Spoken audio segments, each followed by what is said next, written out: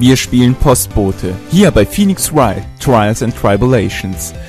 Ja, wir sollen anscheinend in Ron Delight helfen, der sich für Mars de Mars ausgibt. Aber seine heiße Frau hier, die sehr kostspielig ist, ähm, hält das alles für Wahnvorstellungen. Und ich weiß selber langsam nicht mehr, was ich hier glauben soll.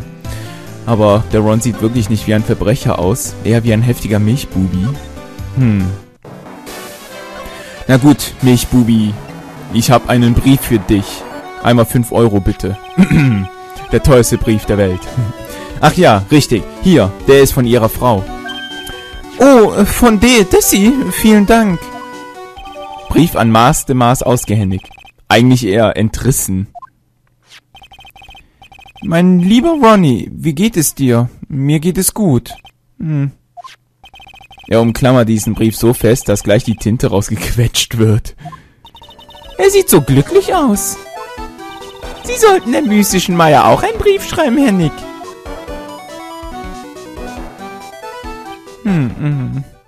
Ähm, Herr Anwalt? Ja?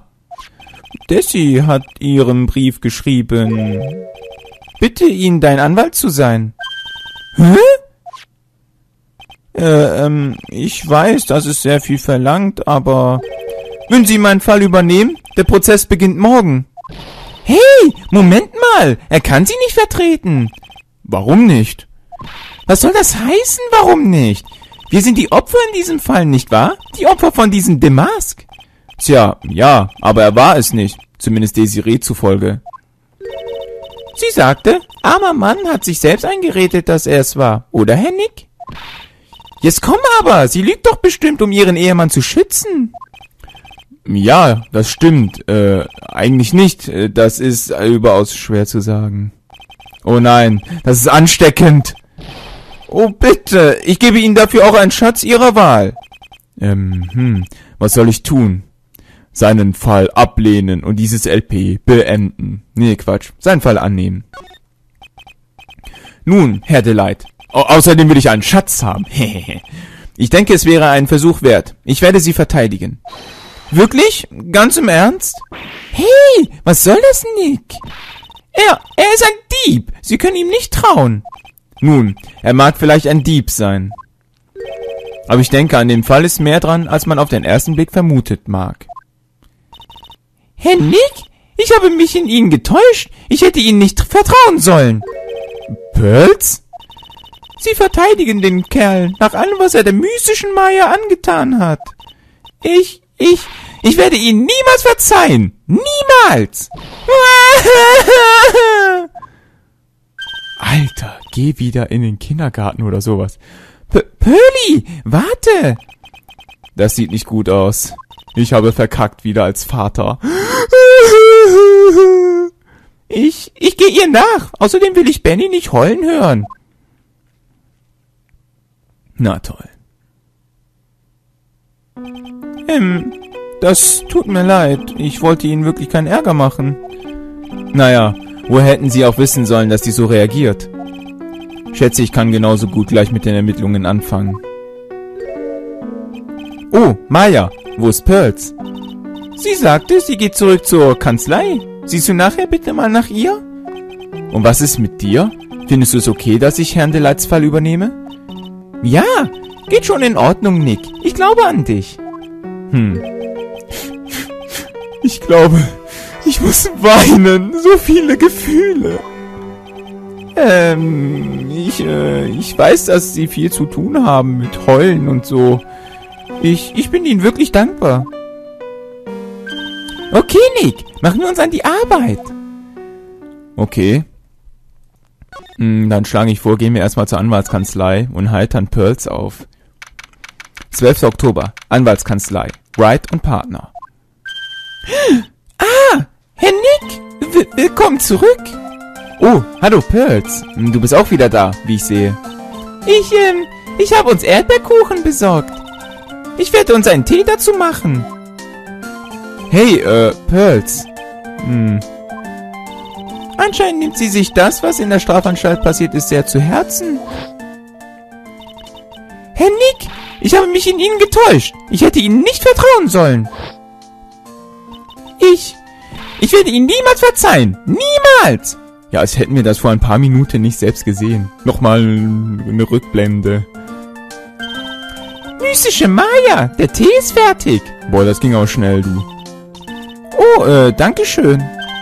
Na los, Herr Nick, bitte nehmen Sie etwas von diesem Kuchen. Okay, danke. Ja, danke schön.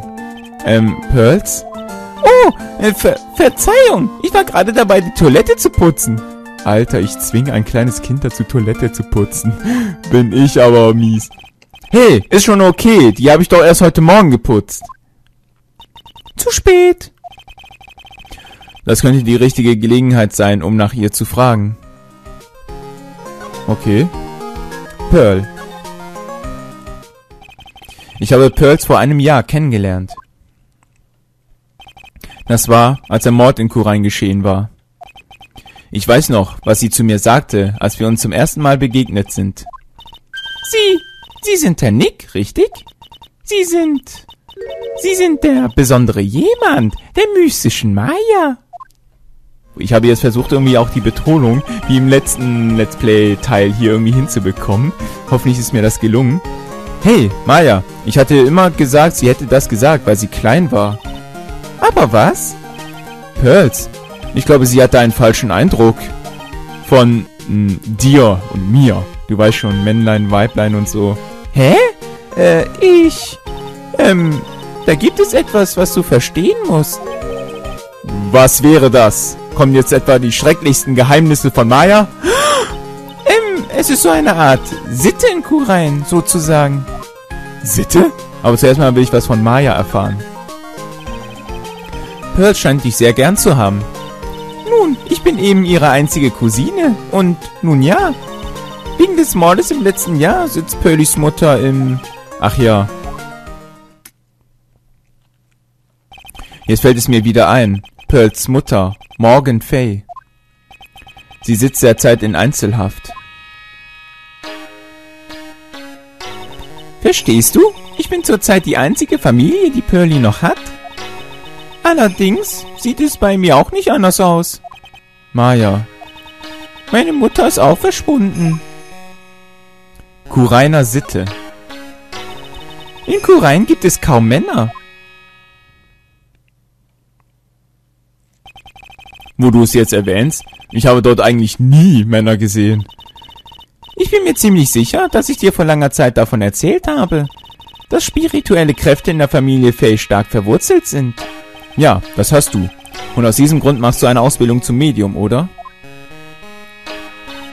Ja, die Sache ist nur, dass ausschließlich Frauen diese spirituelle Kraft erben.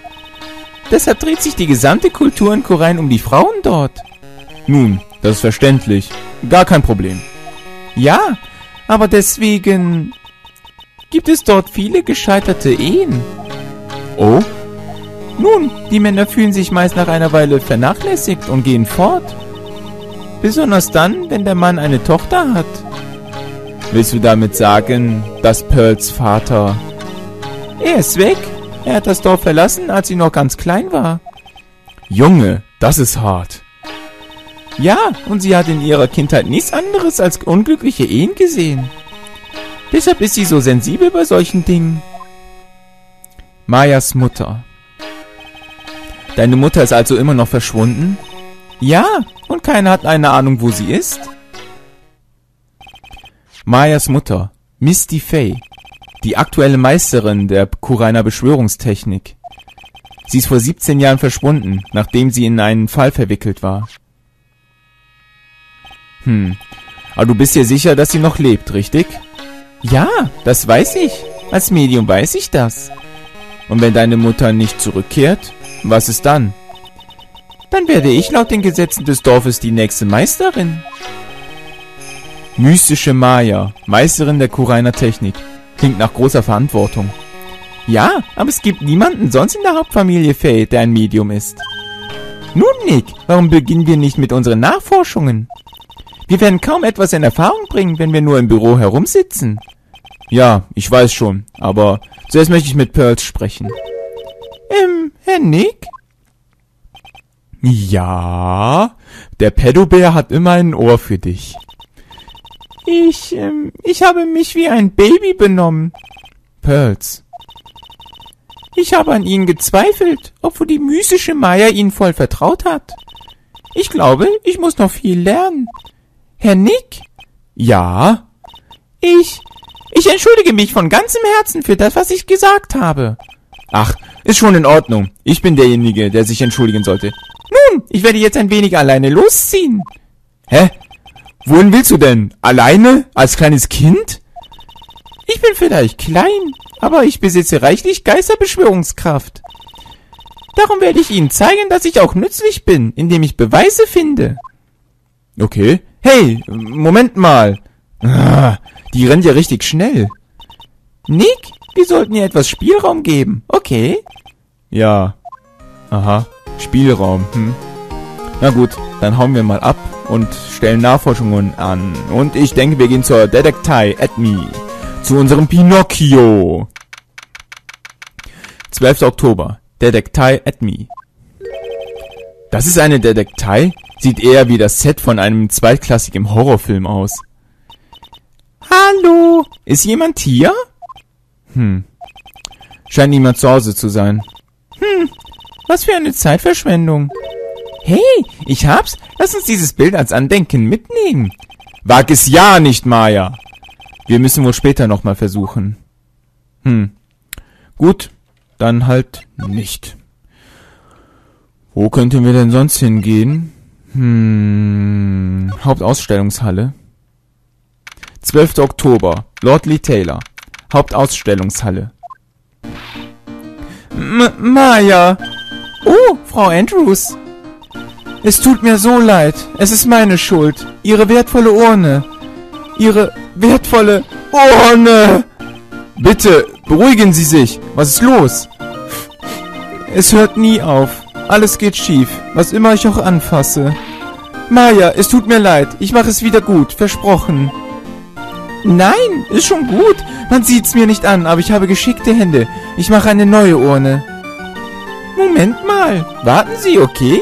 Beruhigen Sie sich erstmal und dann reden Sie mit uns. Verzeihen Sie mir, verzeihen Sie mir. Oh Mann, ist sie down. The Mask Visitenkarte. Ähm, wann haben Sie denn die Visitenkarte von Mask The Mask erhalten? Also, das war vor genau zehn Tagen. Ich wollte sie der Polizei zeigen, aber dann hat mich dieser Detektiv aufgehalten. Ähm, Sie haben Detektiv Edmi also gebeten, bei der Überwachung zu helfen? Ja, ich habe ihn vor etwa 20 Tagen engagiert. Er schien weit mehr als die Polizei über Master Mars zu wissen. Sie haben ihn also für die Überwachung engagiert, bevor die Visitenkarte ankam? Nun, ja, ich hatte so eine Vorahnung, dass etwas Schlimmes passieren würde. Ich habe gelernt, auf mein Gefühl zu hören. Darum sind Sie also überall Überwachungskameras, selbst im Kellerlager? Ja, Lord Lee Taylor legt großen Wert auf Sicherheitsmaßnahmen. Das ist ihre Methode, möglichen Dieben zu sagen, versucht's doch. Tja, er, er hat es letzte Nacht versucht und ein nettes Souvenir mitgenommen. Badum, die Sicherheit. Ähm, können Sie uns etwas über die Sicherheitsvorkehrungen der Schatzausstellung sagen? Es ist alles meine Schuld. Ich hätte diese Ausstellung nie Schatzausstellung nennen dürfen. Warum sagen Sie das? Die gestohlene Urne ist ziemlich wichtig. Vielleicht, aber ihr wahrer Wert nach Schätzung war praktisch null. Null? Ich habe sie so lange poliert, bis sie fast geleuchtet hat. Ich habe gedacht, dass sie dann vielleicht wertvoll aussieht. Aber die Urne enthält die Seele der mystischen Amy. Jedenfalls habe ich sämtliche Sicherheitsfragen an den Detektiv Edmi übertragen. Aber vor fünf Tagen kam eine Reihe von Ausstellungsstücken aus Kurein. Da sind viele Leute im Lager ein- und ausgegangen.